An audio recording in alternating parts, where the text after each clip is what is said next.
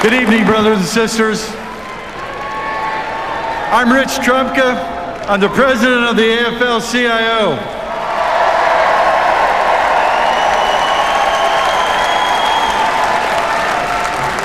And I'm a third generation coal miner from Nemacolin, Pennsylvania.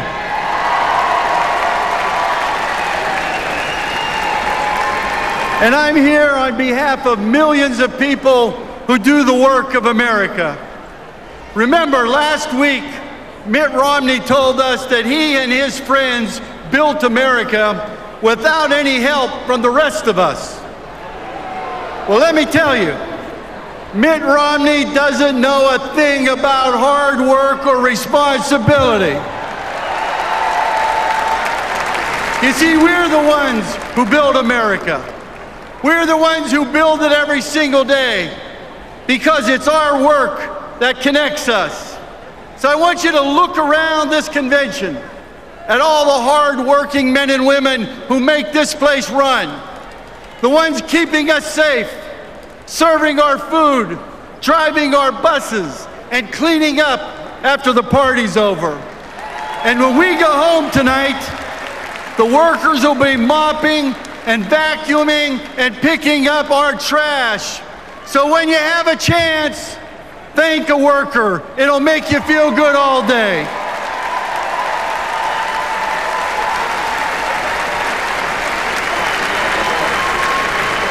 Now we know that every worker here in Carolina, North Carolina, just like every other state in this country and every country in the world, deserves the right to organize and to bargain collectively.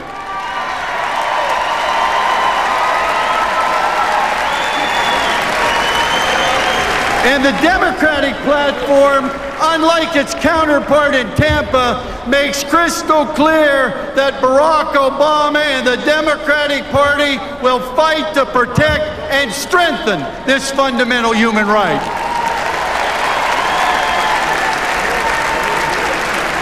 You see, my friends, our country has a big job to do. We have to rebuild the middle class together. Our economy works best when it works for everyone, not just the select few. And our history teaches us that shared prosperity is the only kind that lasts, and we will have that under Barack Obama.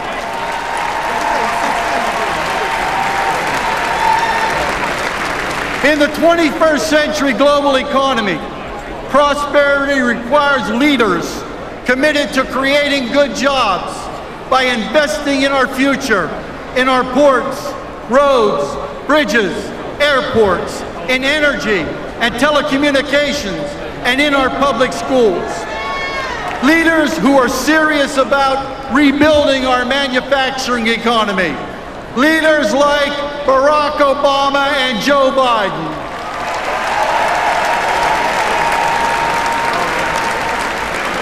And we know that the wealthiest and most powerful among us, those who have benefited most in re recent years, must do their part to help rebuild America. See, prosperity requires economic security, and we will stand with leaders who strengthen and protect Social Security and Medicare and Medicaid, not those who plan to cut benefits that working people paid for, earned, and are counting on.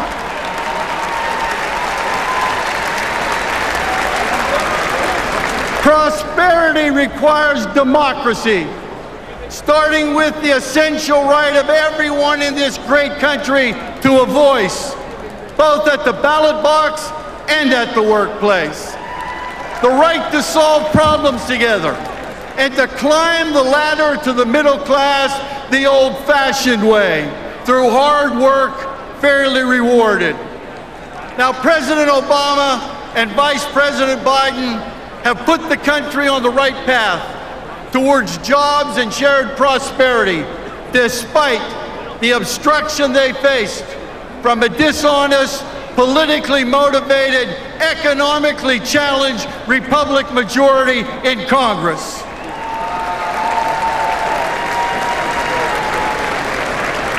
We face a choice in November between division and decline, between unity and growth. We love our country. We build it. We defend it. We wake it up each morning. We make it run all day. We fix it when it's broke. We put it to bed at night. Our country needs unity. Our country needs leadership. Our country needs